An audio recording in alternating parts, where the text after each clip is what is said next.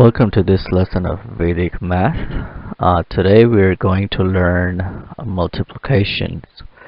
Uh, we are going to use the base method. Um, so what are bases?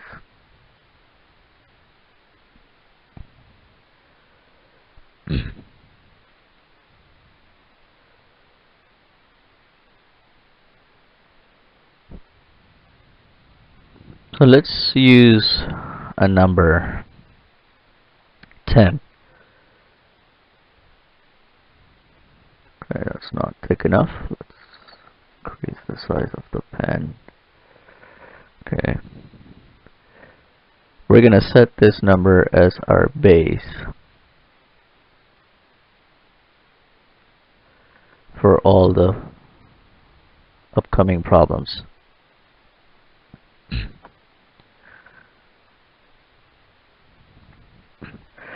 So let's try to do first problem. Uh, 7 times 8.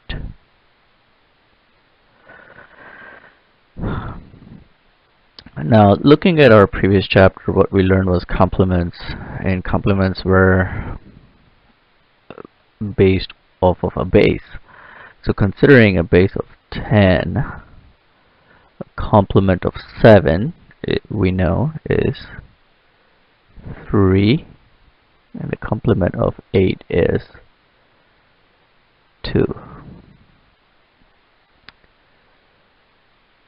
So what we need to do here so 10 minus 7 so 7 is below 10 so we can write here minus 3 and 8 is less than our base of 10 so we write here minus 2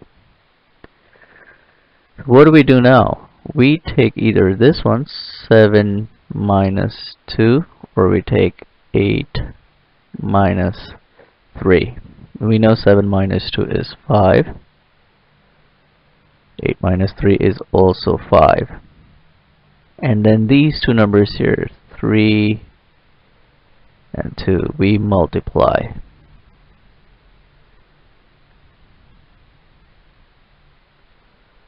so 3 into 2 we know is 6 so our answer for 7 times 8 is equals 56 now this may be very easy for a lot of you. You may be memorizing your times tables and uh, I've seen people memorize times tables up to 50 um, uh, and uh, they just memorize it. It's rot memorization.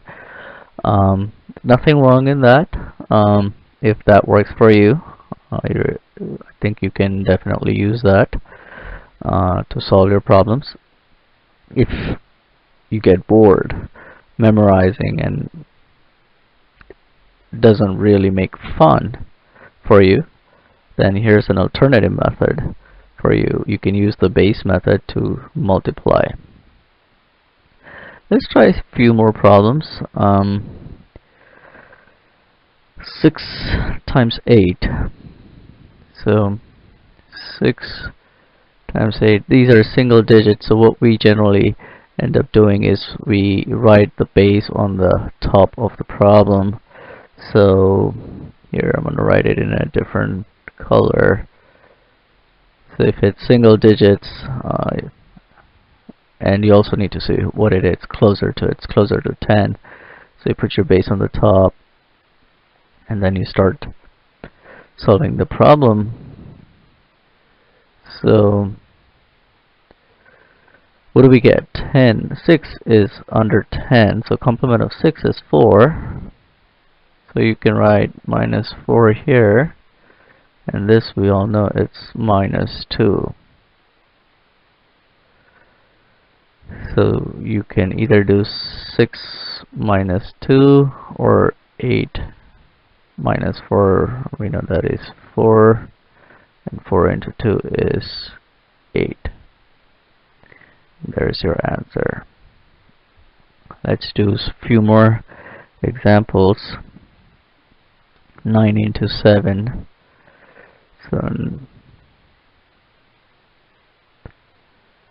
9 into 7 again this is closer to base 10 so we're gonna put 10 on top just so that we remember complement of 9 is minus 1 and complement of 7 is 3 uh, the only reason again I'm writing minus it's because it's less than 10 so that's why I'm putting in the minus sign and for it's easy to remember what's the next step is you do 9 minus 1 uh, 9 minus 3 or 7 minus 1. So 7 minus 1 we know is 8 and 1 into 3 is 3 and there is your answer 9 times 7.